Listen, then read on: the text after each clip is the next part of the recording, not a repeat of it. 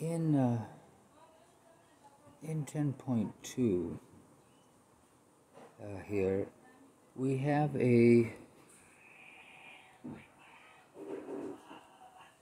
normal distribution with a sample mean of we'll call it 554 rounded off 554 and the data itself distributes according to a standard deviation of 484 that's the uh, standard. So if we model the data as a normal distribution, we get this. Now, we have a mean for that, as I just noted. Let me go ahead and put the mean in of uh, 554. For now, I'll just call it x equals 554, sorry. There's the mean. This is the data here. Um, I'll make the data green just for fun. So there's the uh, mean and uh, the standard deviation uh, 44. That gives us some idea of the spread of where the airplanes are likely to land if they're thrown over and over again. Now, that mean, if I throw them again, I will get a different distribution. But the mean of the new distribution will distribute more narrowly. In fact, the mean of the new distribution will distribute normally.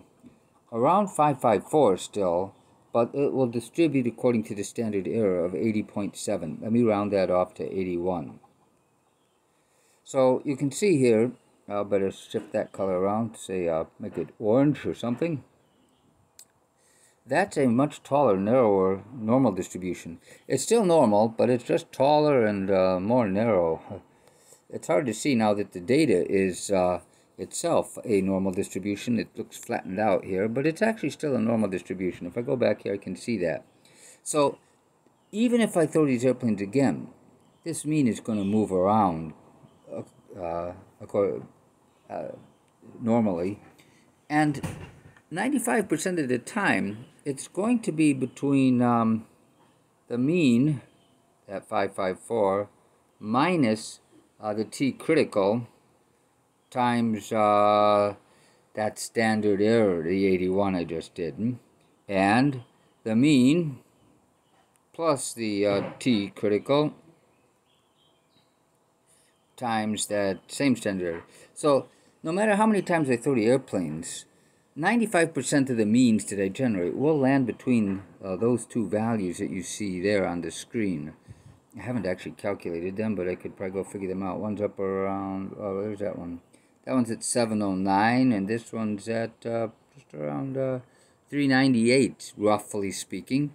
And uh, we're at about 95%. You can see that down here. 90, close to 95. I, I have to trim it a little bit. I'm a little bit off on this bottom.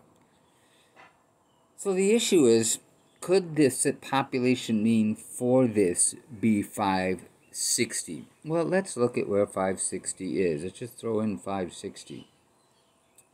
That purple line is 560. Now it's really hard to see the difference between that and the sample mean. The point is, there is no difference. That difference between those two lines is actually 0.07 standard errors. What do I mean by 0.07? Let me do it this way. The difference, I'll do it the positive way so it's easier to see, is 0.07. There's a 0.07 appearing.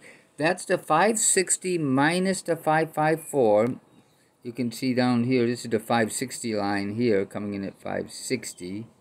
And this is the uh, 554 line. The difference between them is 0.07 standard errors. Remember, this big orange area uh, that we're looking at under the curve, that's 2.0 plus or minus 2.03 standard errors.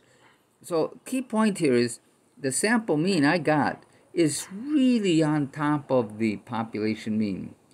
Now, the t statistic is this thing here, the 0.07. That is a t statistic down there. And the t critical, which was calculated in the spreadsheet, is that 2.03 that I used to calculate the 95% confidence interval, which is bigger, 7 cents or 2 $2.03. $2.03 is bigger. So on the question number 7, is the T, criti- T statistic bigger than T critical? Is 7 cents more than $2.03? No way. Remember, that's the T critical. And I can't do the T critical here, as far as I know. I don't have a, I don't have a T inverse function available to me. So that one I'll just have to, I'll leave that way. But the T critical is uh, 2.03. So the T statistic is not. So number seven is no.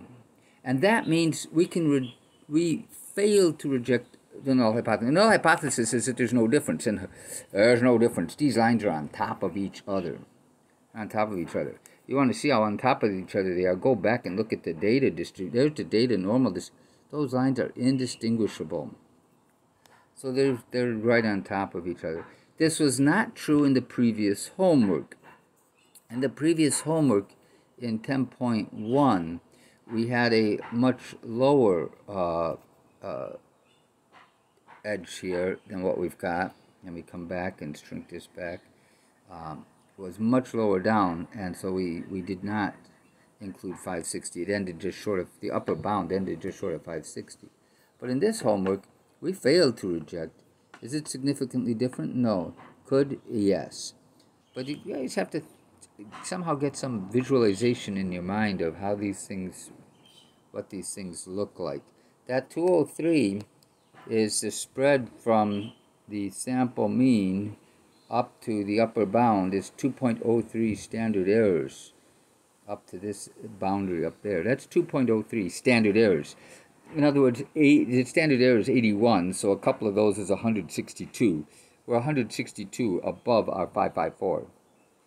And the actual population mean is only 0.07 standard errors above.